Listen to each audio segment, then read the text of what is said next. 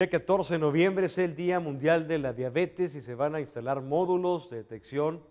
de hipertensión también, incluyendo en diferentes centros comerciales y hospitales. Vamos a escuchar más detalles. Durante este mes de noviembre tenemos la celebración eh, de la lucha contra una enfermedad muy importante en la actualidad que es la diabetes. Este día se celebra el 14 de noviembre eh,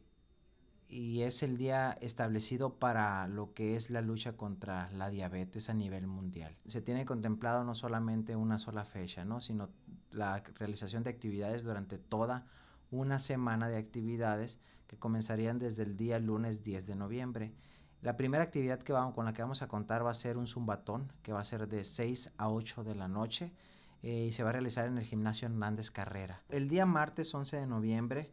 eh, se va a contar con el apoyo del grupo de ciclistas de aquí de Nogales y se va a realizar un recorrido en bicicletas que va a iniciar en las instalaciones de, la,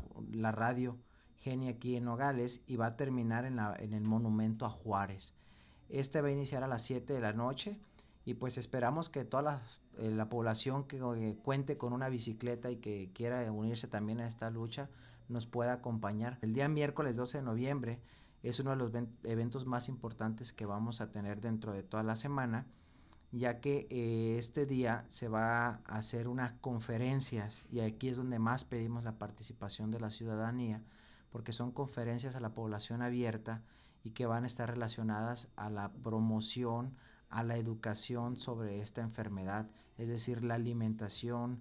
qué es la diabetes, cómo llegaron a, desarrollar la diabetes, qué se requiere para un control adecuado. Y, esa serie de conferencias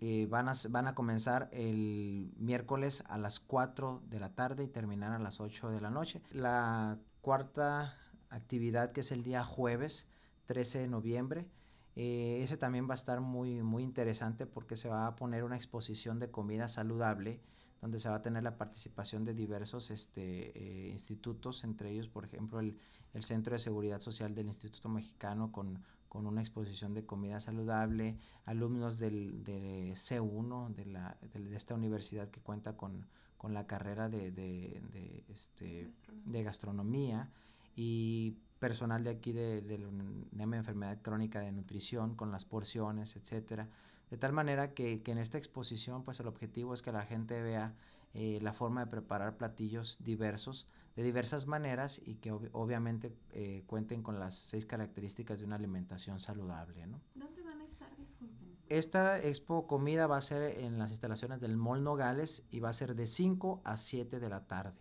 el día 13 de noviembre. Por último, para cerrar eh, con broche de oro, pues ya el mero día 14 de noviembre se va a cerrar con con un evento que desde hace seis años se viene realizando, pero que cada vez se ha tomado más fuerza porque cada vez eh, participan más instituciones. Se trata de la famosa caminata.